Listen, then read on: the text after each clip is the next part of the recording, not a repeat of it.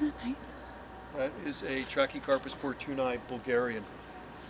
And, you know, when most people see the Bulgarian, they have stiffer fronds on them, but because this one grows in more shade, it's got droopy fronds on it. They've kind of changed and the petioles have stretched, but I grew this from seed. It's been outside yeah. since a seedling, and uh, it's thriving. It is. If you look at it, it's just absolutely beautiful. And, and you can see through to the garden here, there's some Wagnerianus. If you look through the oh yeah, fronds down here, there. Yeah. lots of palm trees in the garden here, and rhododendrons and bamboo. Not bad for a, not bad for a winter day. Hey, looks pretty tropical, eh, folks? And that's the whole idea.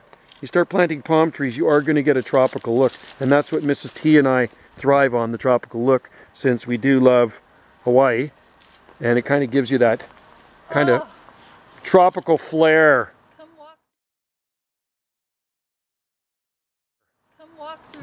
It's pretty cool. The sun. How It's it's beautiful, and we got some Wagnerianus down here, rhodos, lots of palm trees in the garden. one? and- nice and- They do not need winter protection on Salt Spring Island, okay? In the Gulf Islands. Palm trees, Trachycarpus fortunei, and a lot of the Trachycarpus species are fully hardy here, so no winter protection. They always look good. They get nice thick trunks on them.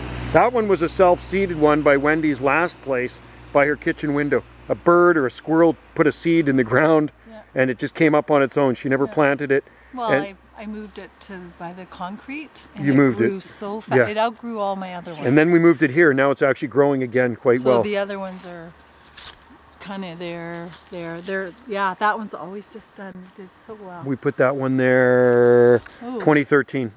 So it's been there seven years now. Yeah. Yeah, and it's on.